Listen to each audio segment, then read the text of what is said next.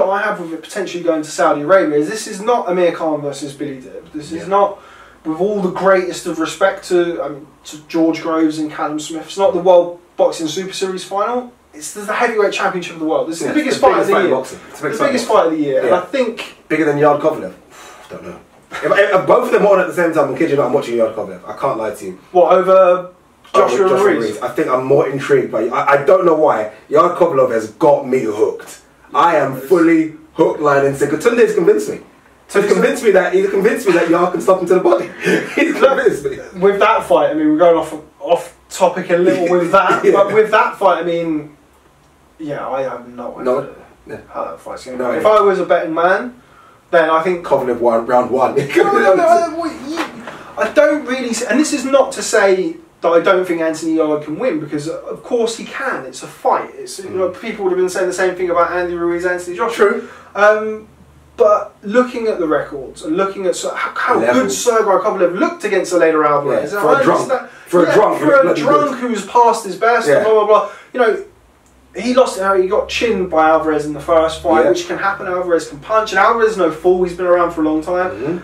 Um, but his other other losses are against Andre Ward, who could fight a bit. Yeah. Like not bad. yeah, not bad. Yeah. Uh, so, and whereas I think Anthony Yarde's best win still is Nikola Sjekloca. I think that's his best win. Who's a career I'm laughing at the fact that you actually remembered how to pronounce the name. It's true, though, right? Like that's that's his best win. A career super middle. a career super middleweight has already been beaten by a lot of fighters. Um, that's not to say again that Mm. That's not to say he can't go can't and win. win. Yes, that's the thing. But- we don't know how good he is because If it was if it was two horses having a race and you look to the form guys, I'm sorry, I know my money's all going. yeah, but I mean, they people ask me sometimes about Tunde. Is it an act? Is it like Is it they. Is it they believe that he's going to go there. and He's going to fucking knock Kovalev out. I just feel like he's playing possum to get as much money as possible, and he's sold it really well. But I, I just don't know if it's an act. I mean, I think if it was an act, I think something would have Oscar. signaled Oscar it. nomination, Something would have happened along the line where you think, okay, yeah, he's fucking on a little bit here, Yeah. but I don't think it is, and I think they do genuinely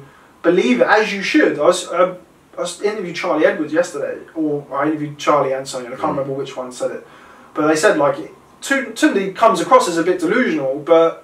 You need to be deluded in boxing. You need to think you're the best fighter in the world. Mm. You need to think that you're the baddest man on the planet because otherwise, what are you doing? I want my trainer to be like that to me. Yeah. I want my trainer to think you could take on anything. Do I want my trainer want to to say? be realistic. do I well. want my trainer to say if, if I win the world title that he deserves it just as much as me? Probably not, yeah. because I'm ultimately the one getting Get the getting, ring, getting yeah. punched. Yeah. But yeah, they believe they're going to win the fight. I mean, Sergey Kovalev isn't invincible. We've seen him knocked out within the last twelve months. Anthony Yarde was at the first fight when he, Mm. He was, got he knocked was. out. So they've obviously seen something. They were offered the Beterbiev fight. They were offered the Kovalev fight.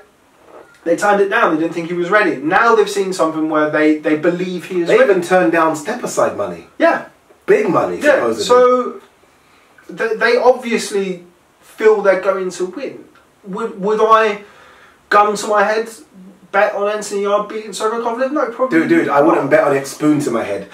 You're saying gun. I wouldn't bet on it with a plastic spoon I, have. I, I- have to safeguard myself in case Tony comes back with a Yeah, yeah. Um, no, but, um, yeah, but I mean, he's Anthony Yarde is obviously uh, an athletic freak, and he, he obviously has talent. He can obviously punch.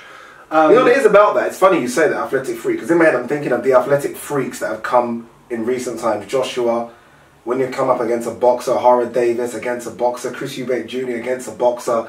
All these athletic freaks that look great specimens with not much amateur background, so not an extensive. Mm. When they come up against boxers, they seem to. It's like, oh, I don't know what to do now. My athleticism that, that, can't that get me is the thing. this. I mean, you talk. We've completely segued from Ruiz. Yeah, we'll it's get back there in a minute. We'll. I mean, it's, it's not the same because Roy Jones Jr. had a very extensive amateur Yes. background. But let's just use him as an example of somebody who was freakishly gifted. Freakishly. You put him against my favourite fighter in James Toney. I Yeah. think if you look from a technical point of view and, Mm. and from who does the basics better, fighter of all time? my Yeah, favourite fighter. James Toney. Um, James Toney is a more skilled boxer Agreed. than Roy Jones Jr. Mm. But Roy Jones Jr. had freakish athleticism and he Ridiculous. could just zip around the ring and James. Toney can get near him. So like there is there are scenarios where freakish Mm. athleticism can and again not to say that Roy Jones Jr. only had freakish athleticism was because he did when it. it went- Excellent amateur. That well. like, got robbed in the Olympics, or Yeah. terribly robbed in the Olympics. But um, but that's an example of if you've got that freakish athleticism, that can mask deficiencies within your technique or you know your lack of amateur experience, and that we could well see that. We could Mm. well see that with Yarde Kovalev.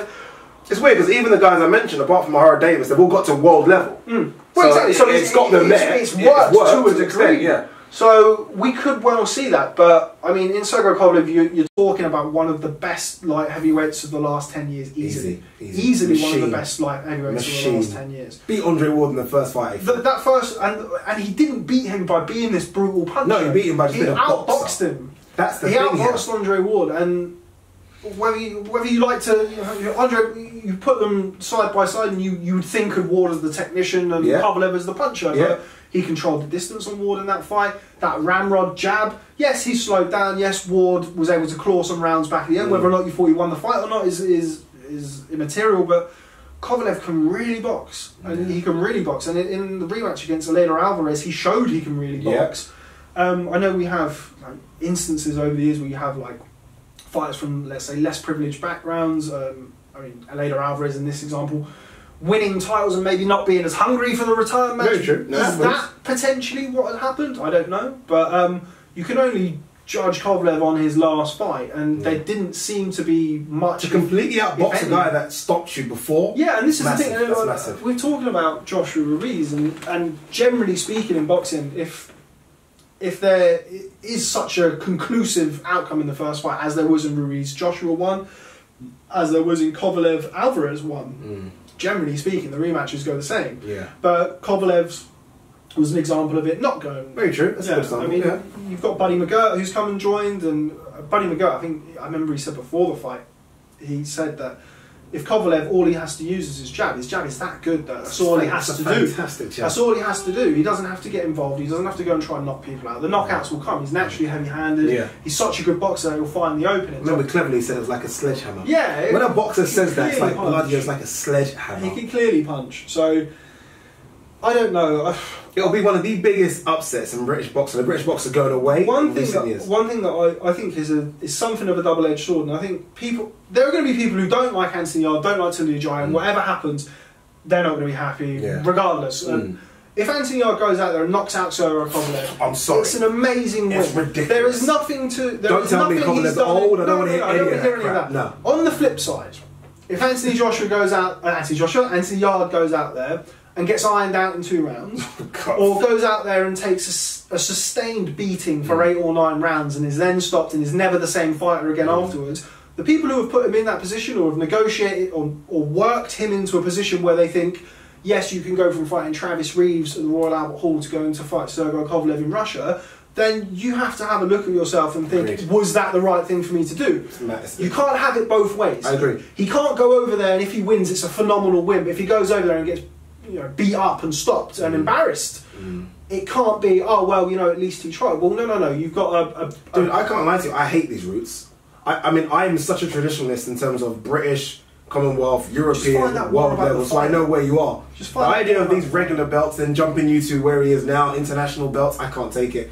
And that's the problem. I remember speaking to somebody. Um, Conor Benn's another one. Conor Benn, I think, is number five or something in the WBA or WBO. WBA. Yeah, and I'm like, So what? the international title. I He's a couple of fights away from I spoke to Eddie about this in an interview, and I said, "Well, like again, use. I know the answer to this question, but people are asking about it. So you, you say to Eddie, like, you know, people are looking at Conor Bennett, number five of the WBA. They say he shouldn't be ranked there. Is he in line for a world title shot anytime soon? The answer is, of course not. Yeah. But you have to ask that question. You But Eddie, question. Eddie, Eddie would turn around and said, and did turn around and say in that interview, like, you know, you have the WBA, you have all of these governing bodies who are having pressure put on them by promoters who Mm. have great relationships with them. People look at, I'm not saying that it does exist, but people look at Al Haymon with the WBC. People look at Frank Warren and Bob Arum with the WBO. People look at Eddie Hearn with the WBA. And they look at favouritism and, and, and accuse or allege favouritism in, in those instances.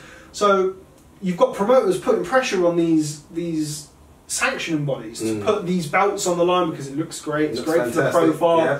But then when you get into the top five, top three, top four, top Sorry. five, which is kind of I think what we've seen with, with Anthony Yarde, then where'd you go? I Yeah. mean, the, the the story that we had from Anthony Yarde and well not necessarily Anthony Yarde but from Tunde Ajayi is that You know, we're, we're past domestic level. We don't we don't need to fight at domestic level.